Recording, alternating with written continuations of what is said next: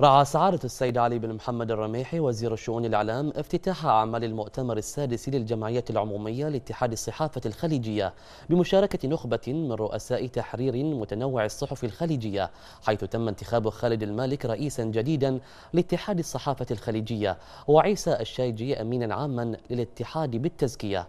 تفاصيل أوفى في تقرير الزميل محمد الرشيدات دائما ما تثبت الكلمة الحرة قدرتها على إرساء القواعد النبيلة داخل أروقة المجتمعات الكبرى.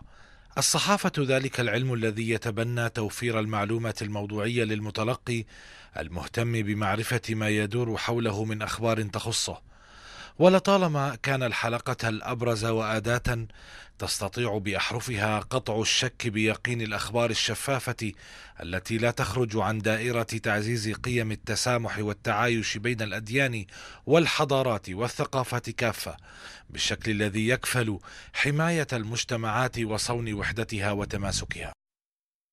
وانطلاقا من الروابط التاريخية الأخوية ووحدة الهدف والمصير المشترك فإننا ندعوكم كاتحاد ومؤسسات صحفية إلى تحمل مسؤولياتكم المهنية والأخلاقية والقومية في ترسيخ الانتماء والولاء الوطني وحماية المجتمعات الخليجية وصون وحدتها وتماسكها وأمنها القومي وهويتها الوطنية والدينية.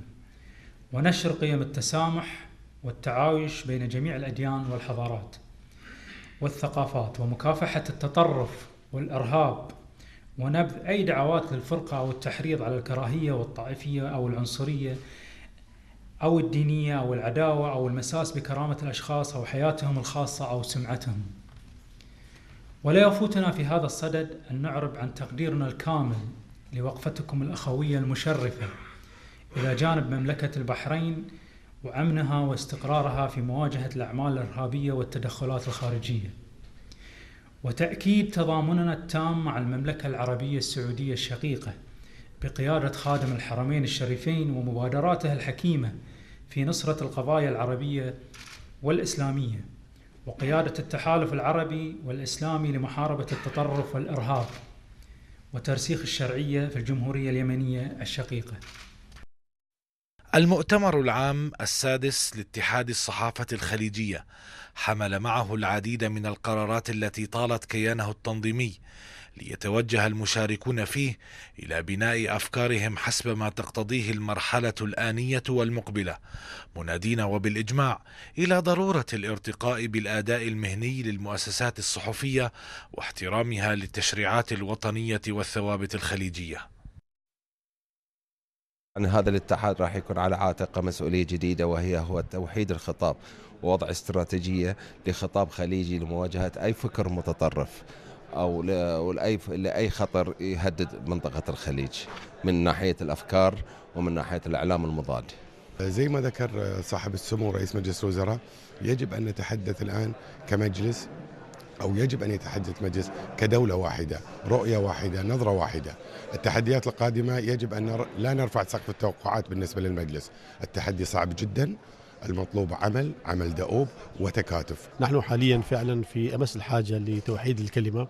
آه، الصحافة الخليجية تمر بمنعطف خطير جدا نظرا لتقلبات آه، الأوضاع في دول المنطقة. ونتمنى أيضا نشوف القيادات الشابة والطاقات الشابة الصحفية البحرينية تكون مشاركة ولها موقعها في الأمانة العامة. كلمات وردت على لسان من أثنوا على نجاحة البحرين وقدرتها في احتضان الجسم الصحفي الخليجي فهي من شهدت تأسيس الاتحاد قبل ما يزيد على 12 عاما وهي من شهدت أيضا ضخ دماء جديدة في جسد اتحاد الصحافة الخليجية الذي يقع على عاتقه فعل الكثير من أجل دول المجلس وشعوبها. طبعا هناك مهمات جسيمة على الأمان العامة خلال الفترة المقبلة خاصة في هذه الظروف السياسية والاقتصادية والعسكرية.